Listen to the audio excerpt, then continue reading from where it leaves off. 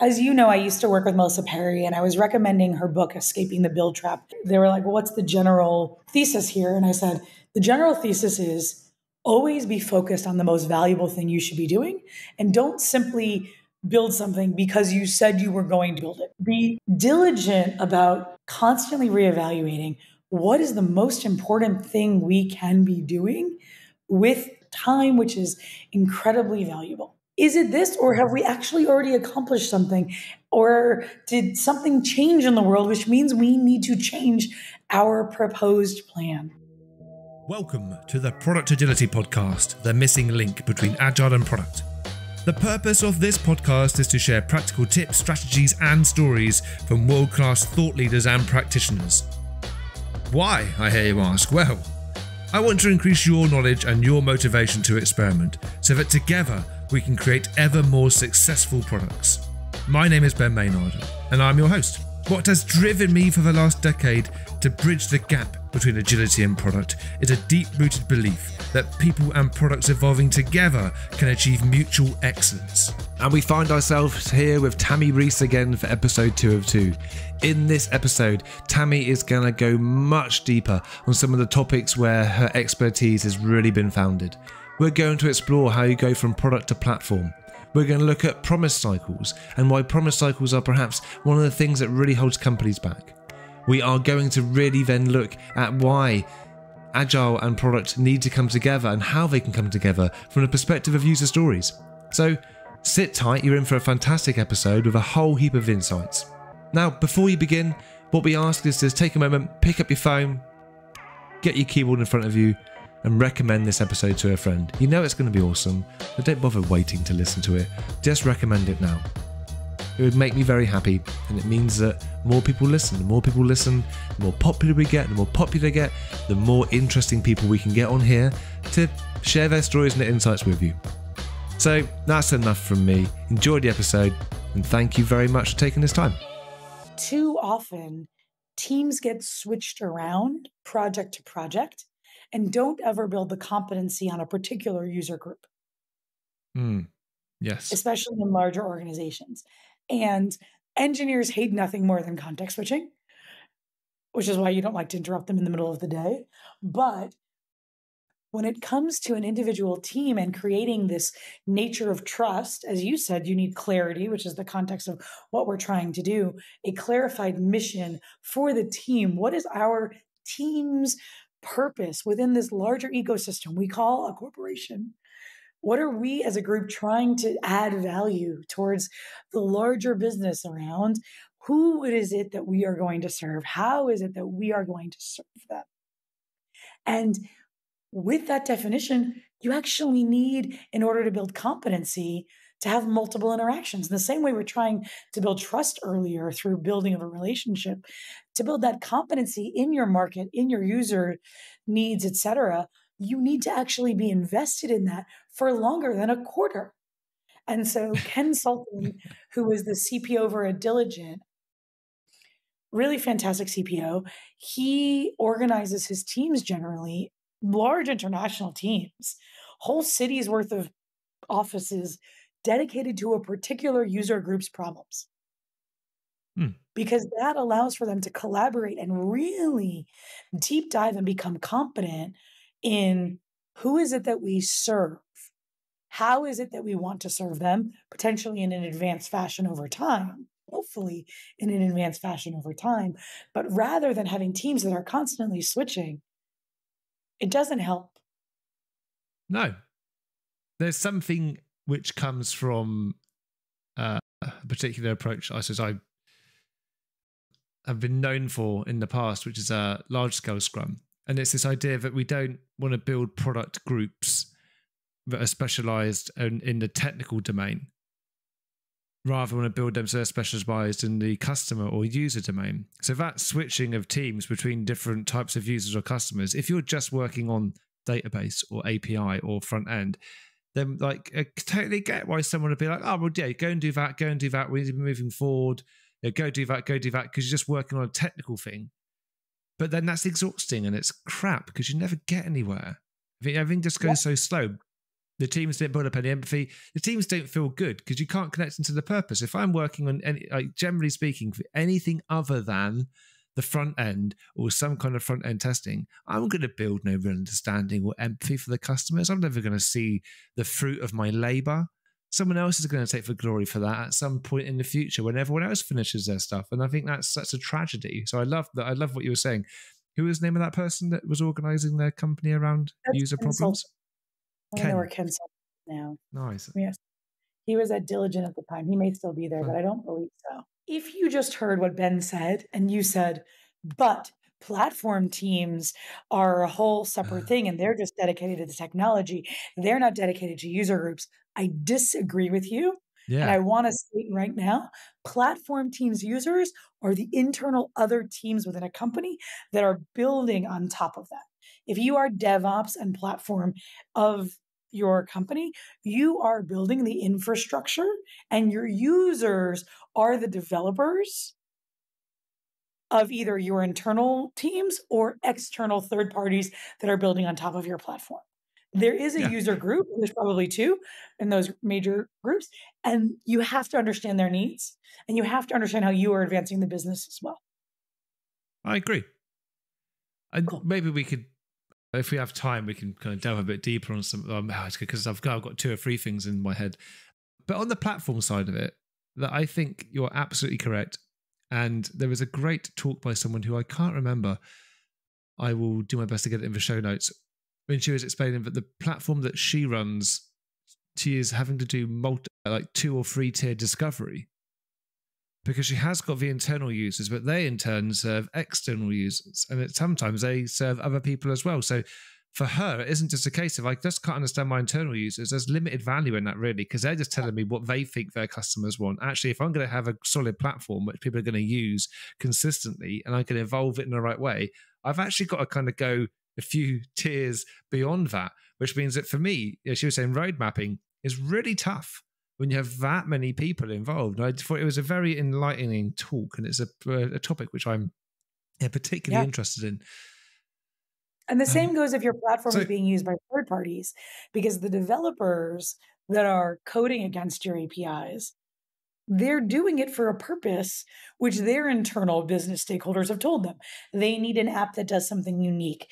They need something else that the the core product isn't delivering, whether it's an extraction of data or something else.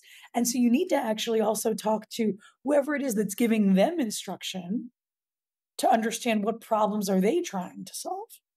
It isn't. And here's the hardest part. You have to decide if those problems are aligned with your business mission, vision, goals, etc. Because simply because someone else has a problem doesn't mean you are the group to solve it. Yeah. So take for example a platform called ArcXP. It was part of the Washington Post, Okay. and then when Oh, Mr. Bezos, it. when Mr. Bezos took them over, he came in and said, "That thing you're Your doing there, that that collection of things you're doing there, that's really quite marketable." And so I've got a, a podcast episode which I think would be coming out after this one eh, with one of their product managers and their director of uh, portfolio. Yeah. And fascinating conversation. They're doing phenomenally well, but they one of the hypotheses that I've always run with, just because I've seen it, I say is it a hypothesis because I've observed it. I'm not sure, but one of my observations is if you're running a platform and you've got a platform which is serving people external to the organization, but also internal, and they're effectively the same type of user, but you've got internal versus external, but actually being able to prioritize the demands between those two disparate groups. The, the internal people, like, maybe because the money is all coming through them anyway, it's really hard to get that balance. So what ArcXP did, yeah, they split it out as a separate company, and it exists as a separate entity, and they're doing they're doing phenomenally well. But they've structured their product around their user groups. Interestingly, one of the user groups are developers at other organizations who are accessing it through the API. So they've Yeah. actually kind of specialized in the technical domain, but they're because their users are technical in that instance, that makes sense for them.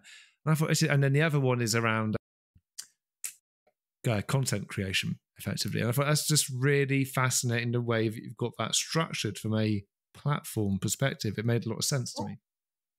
I mean, if your platform is the product, there's probably at some point going to be a portfolio of products within your platform that have hmm. specialized hmm. user groups and needs. And not only technology. Because Conway's law, what you were talking about is Conway's law, the nature that mm-hmm. your technology will reflect your organizational structure. And in reality, what you want to be able to do is exactly that, which Washington Post did, which is you want your technology to be so centered around a user group and its problems that if that becomes a large enough need and a large enough user group, it could be its own product as hmm. opposed mm. to just piece of the product. Do you know anybody or any artifacts that have put some definition around platform versus product versus a platform with products or a platform as a product? Because I, I, I'm noticing so many different nuances in the people that I speak to and the people that I work with around these. And everyone's called them different things. And I've kind of been working on my own language around this. But do you know anyone that's actually defined like maybe what some of these things could be? I'm guessing it isn't, you know, it isn't a short document probably, but is there something you know of? I know I have a draft of something at some point. Um, um, I was like, did I publish it? Never publish it but now you're making me want to. But I was lucky enough that my best friend started working at Salesforce in 2005. And so hmm. I've always known, or at least the last 18 years, known about platform products and why they are different and how they can scale in different ways. And hmm. Fortunately, so many B2B companies um, don't understand the opportunity, which is platform, but I actually know where I have this in my strategy primer, which I can share with everybody. Towards the end, there is a slide set which is around the 16 strategies for growth. And one of the strategies for growth is to become a platform. Yeah. And so if we look at the become a platform one, so, platform in general, to be clear, is the idea that you are not going to be the only group of people that are creating products using your technology. Mm-hmm. Because you understand, and this is if your platform is a product. Yeah. You understand that your internal teams can only provide so much technology solutions out there.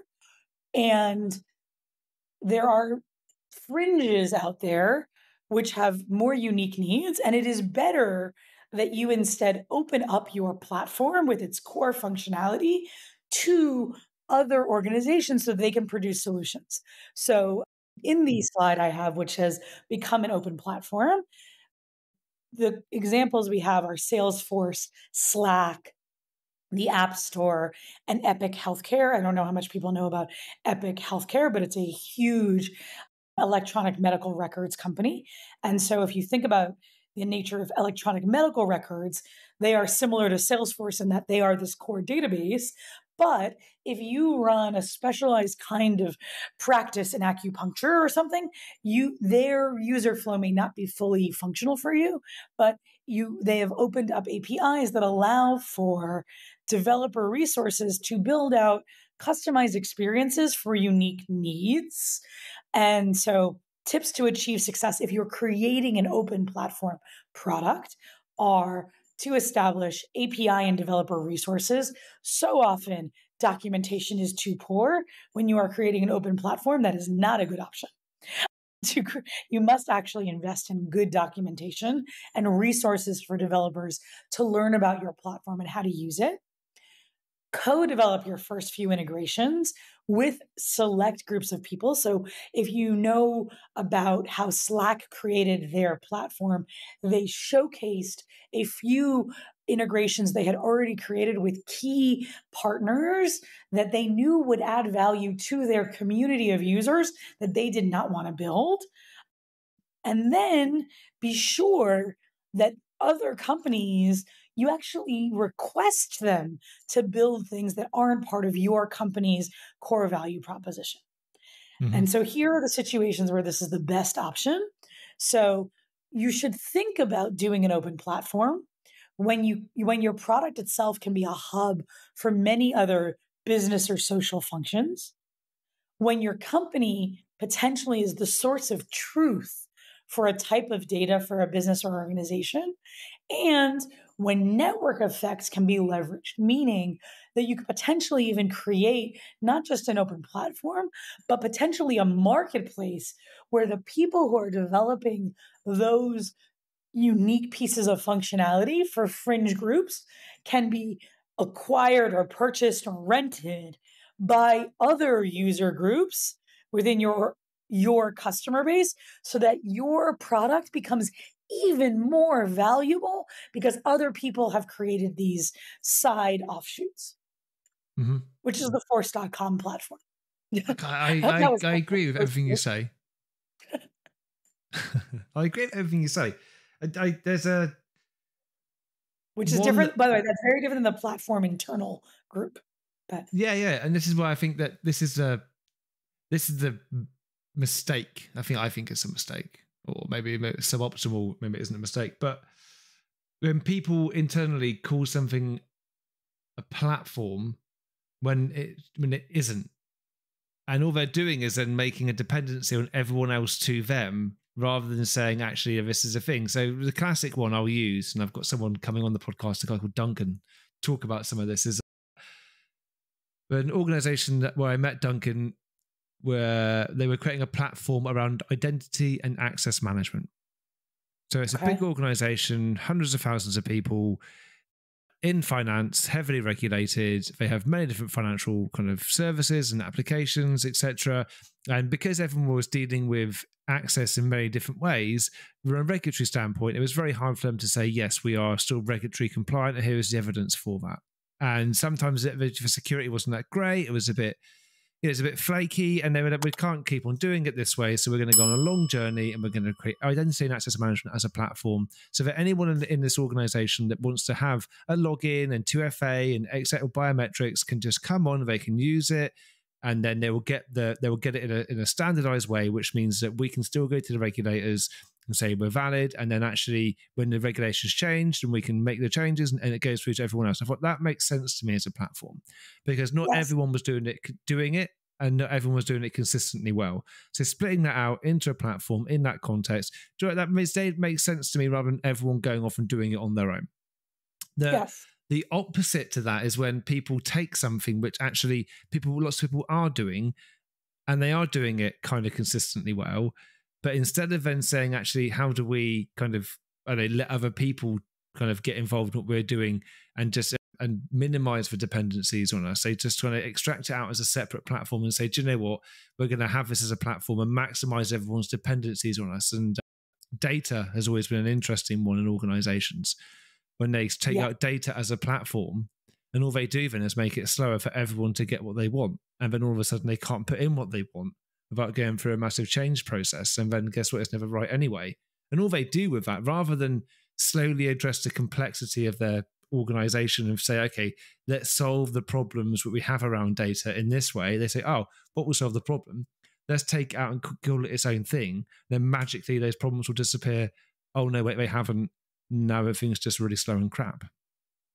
Yes. And that gets back to starting with why, right? Why do we think yeah. we need to do anything? Right? How does this help us? right? Why is this going to be something that adds value to the way we do things? And platform teams, to be clear, can add a lot of value because they can make other teams yeah, more efficient. Ones. They can standardize things that developers shouldn't have to do again and again and again. Right. And at the same point, yeah. If they aren't actually doing that, then they aren't succeeding in their mission and their metrics for success. Yeah. At which point you have to reevaluate. You do. And none of these are absolutes, you know. I think that's, I think that is hopefully that is clear to people. There are absolutely situations where what we're saying, some of the things say might not be true, but yeah, I think it is a, a lot of this, is a, in the world. this is all a big.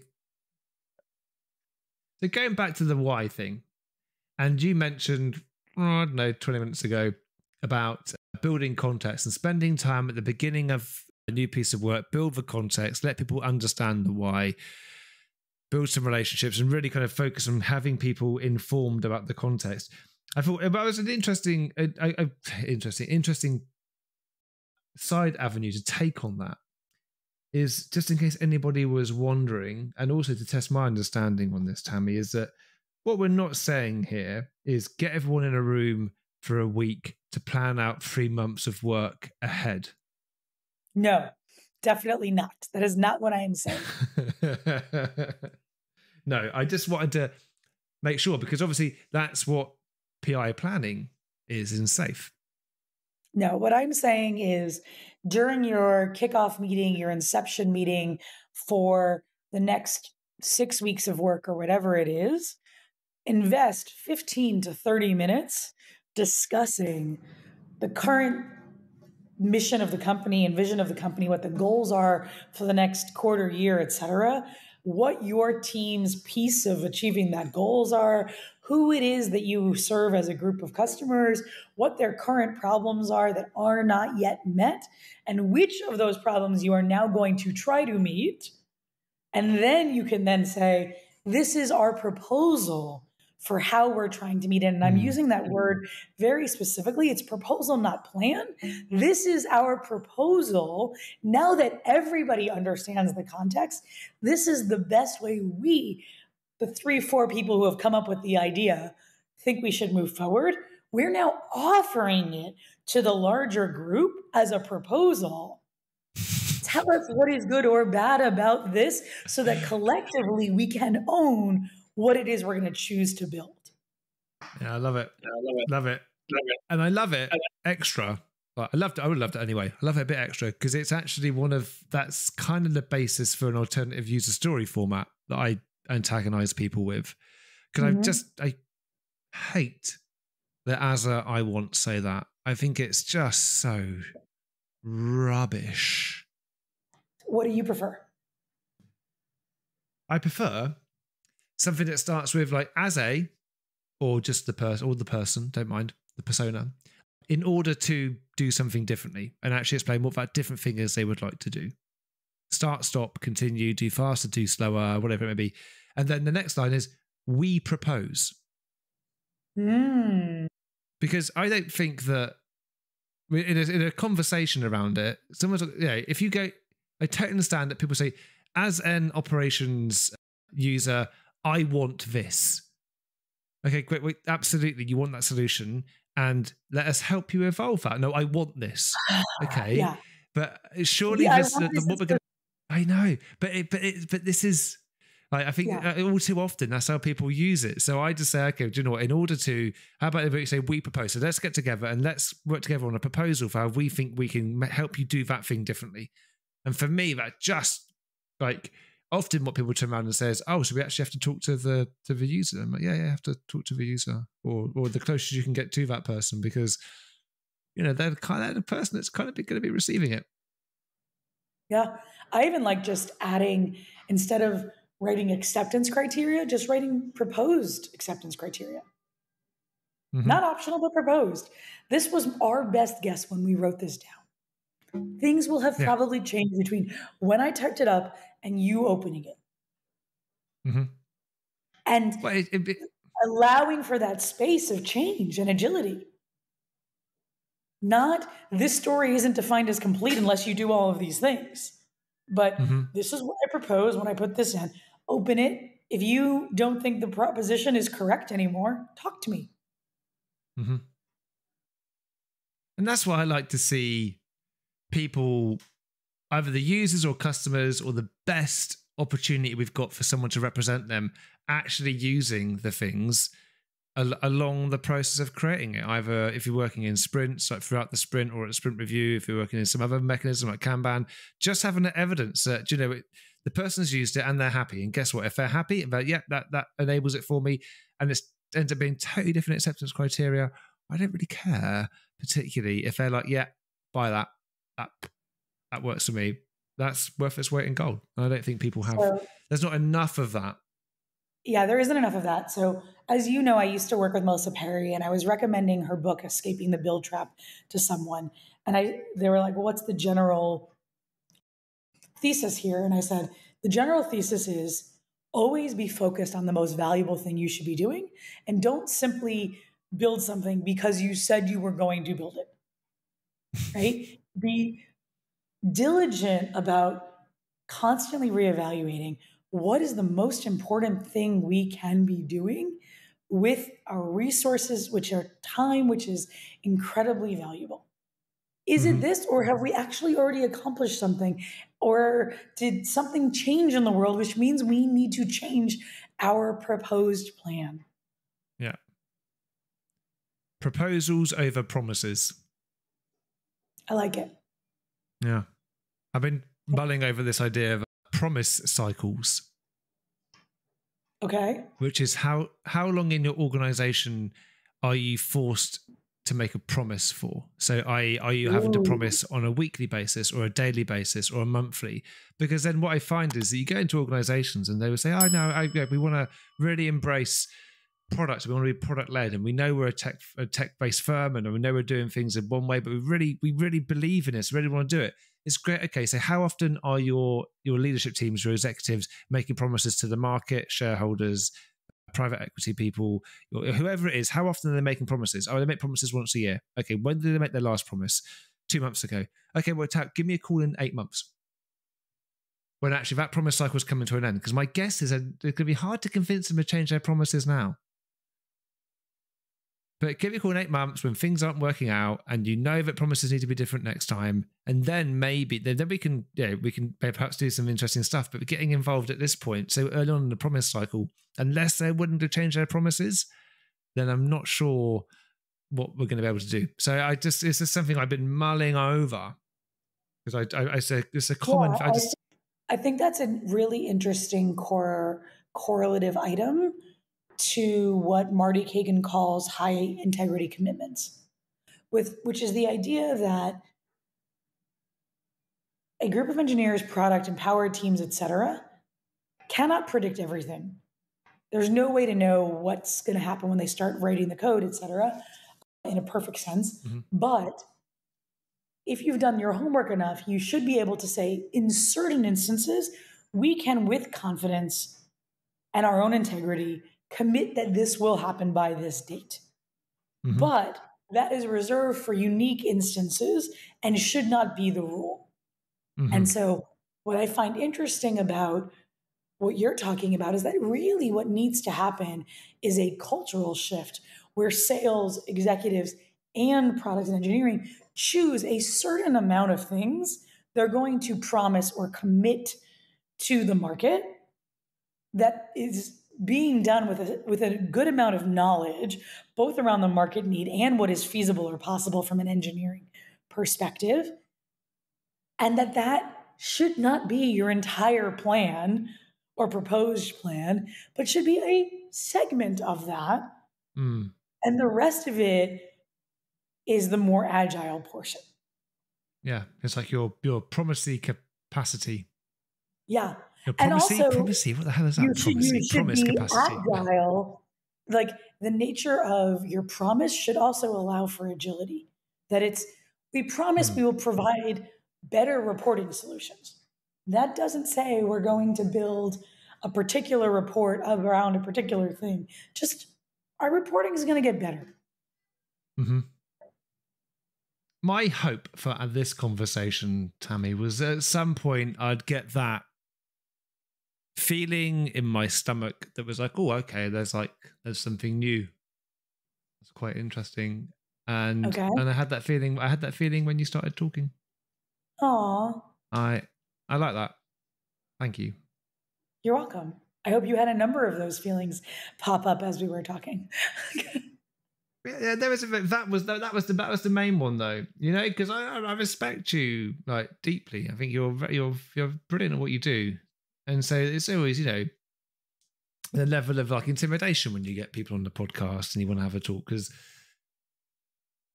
yeah, there's like some awesome people out there, and you're one of them. So to yeah, to better have this conversation with you and feel like you know there's been an exchange of ideas, and there's you know, like my thoughts have moved on, and I've got some new ideas. It's really nice. Thank you very much. Yeah, I hope that we spread new ideas across the globe, and then we can run a conference, and even more that. people can have new ideas. We're doing a conference. Shit, I've said it. I can edit that out. Maybe we won't do a conference. Tami's coming to London next year to talk at a conference. Maybe it'll just be a meetup. Yeah. well, well, it'll be easy to organise if it is just you.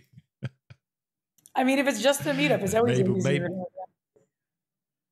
I know, I know. We've had big. I've had conversations with someone that works for me yesterday about do we do a meetup or what do we do, and I'm just like, oh, let's see. But I think a product agility conference would be an interesting thing, even though I know it's a lot of hassle to arrange.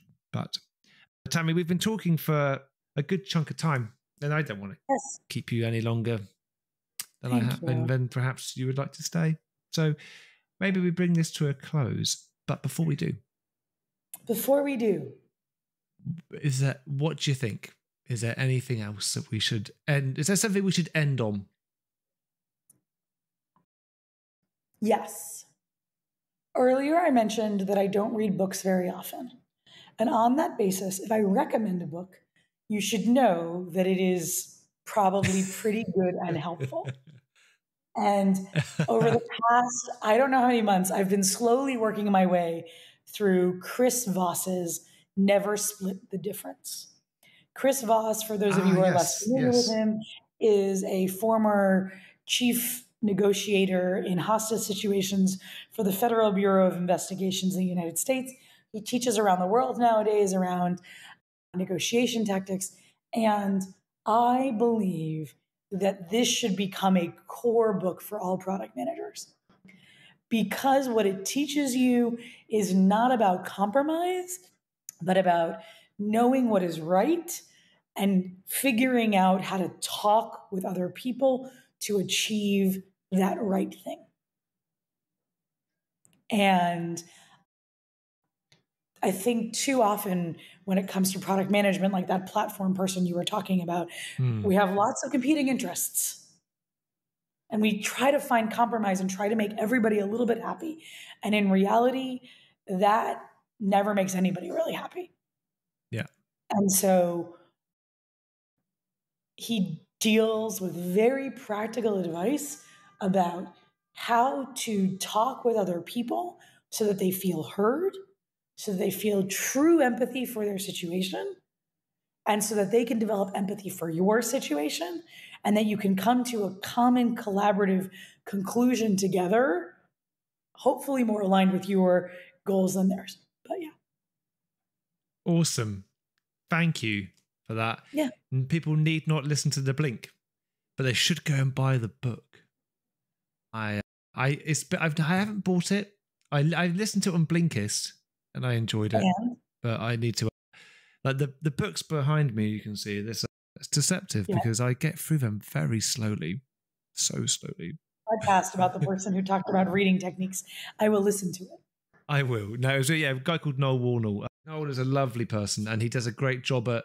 Do you know? He, he says about changing your relationship with books, and the biggest takeaway that I got and it's I don't know. I think I'd heard this before, but I hadn't paid attention. Was that you know, we're we're trained at a young age to read books from beginning to end, but most of the books that we are going to read don't have to be read that way. No. And then he just goes on to give loads of tip, loads of tips and tricks as to how you can kind of break it down and how you can just kind of consume it. And he actually runs a, a cohort program where he teaches people all these, t- all these techniques in depth. So I'll send you a link. Before we end up down another rabbit hole, uh, thank you from the bottom of my heart for coming on. It's been an absolute joy, and I really hope that one day we actually get to meet in person. Sounds lovely. Thank you from the top of my heart for inviting me along. Hey, it's a whole it's a whole heart episode. Whole, whole episode. you started at the end. I went back to the beginning. Ah, beautiful, beautiful. Okay. Now, before I start crying, thank everyone for listening. Thank you, Tami, for coming along. If people want to find out more about you, I will put some information about you in the show notes. But is there anything I suppose you wanted to wanted to mention or plug whilst we got you here? You have a lot of European folk, yeah? Yeah. That listen. So I will yeah. actually be in Lisbon for the Productized conference in mm. October, giving my speech around the only three questions you need and running a workshop that Andre and I have not yet chosen, but I will plug the Productize conference because we've talked so much about conferences and the need for product centric ones. And this is one that's in your backyard. So awesome. In Lisbon. Brilliant. Brilliant. I'm going to. I'm gonna check that out. Okay, I'm looking down the list of who's there. There's some. garlic. there you are. Hello, Tami. Ah, it's a strong lineup. It's a strong lineup. Interesting. Strong yeah. lineup. Right, they haven't I'm done gonna, it in um, a few I'm, years. I'm, so I think there are a lot of people who they had like waitlisted to come speak. And yeah. Ah, well, that's fantastic. Now going to be very proud of me that I plugged it. Thank you. Productize is a sounds like a great conference. Strong lineup. I'll put a link in there, and we'll probably do some uh, promotion for it anyway because it looks like a good conference. Tami, once again, thank you so much, everyone. Thank you thank for listening, you. and we will you you will hear from us again soon. Cool. Bye, everybody. And so ends the episodes with Tami Reiss. There was two of them, and I thank you for listening to them both. I am certain that you've gained so many insights from listening to Tami's reflections on product and platform, of us talking about promise cycles, about looking at all kinds of facets of both product and agile and really trying to bring the worlds of product agility together. One thing we could ask you to do is to leave us a review on your podcast platform of choice, whether that be iTunes, Spotify, whatever it is. Leaving reviews helps to increase our visibility to the people that matter, which are the new guests that we can bring on. So if you like what you hear, leave us a review. It will enable us to entice on a lot of those guests that maybe we've been had around for a little while, but maybe thinking that we're maybe not quite there yet. And we'd like to let them know that we are. And we're ready and waiting to share their insights and their stories with you, our listeners. So thank you once again for listening.